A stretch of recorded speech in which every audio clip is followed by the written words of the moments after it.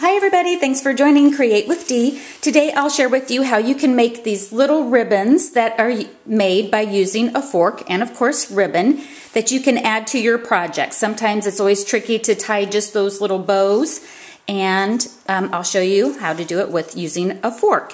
You're going to need a fork with four prongs. You're going to take your ribbon and you're going to loop it around so that the tails are off to the right. Take the bottom of tail and thread it through the center of the fork. So the center prong opening and pull it tight.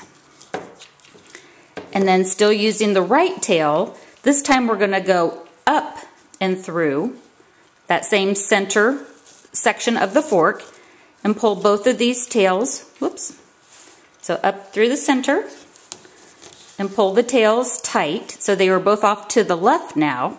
I'm going to pull them tight, flip the fork upside down, and tie it off. Get a nice tie. Then flip the fork back over, and when you pull it off, voila, you've got a cute, cute little bow that you can add to your projects.